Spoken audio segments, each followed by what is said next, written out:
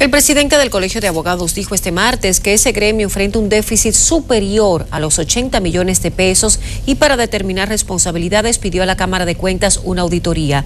Claudia Rodríguez está en directo desde la zona colonial y nos cuenta además de las medidas que tomará el gremio contra la supuesta estafa en perjuicio de los abogados. Adelante, Claudia. Saludos, muchas gracias. Miguel Surún Hernández advirtió que cualquiera que resulte responsable de la situación económica del gremio pagará sus consecuencias. Dijo que solicitó a la Cámara de Cuentas una auditoría para saber de los movimientos económicos durante las pasadas gestiones en el Colegio Dominicano de Abogados. Esto es para establecer el régimen de consecuencias a que debe estar sujeto todo funcionario.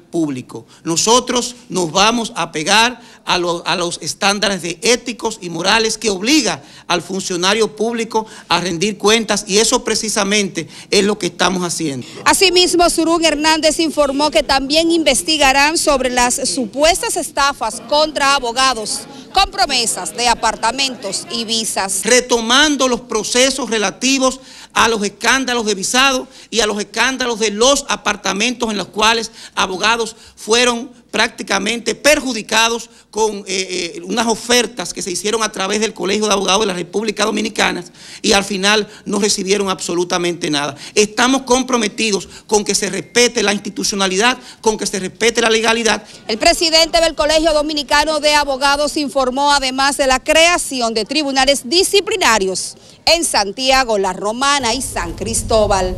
Por el momento son los detalles que tengo desde la zona colonial. Ahora paso con ustedes al estudio. Muchísimas gracias, Claudia, por este reporte.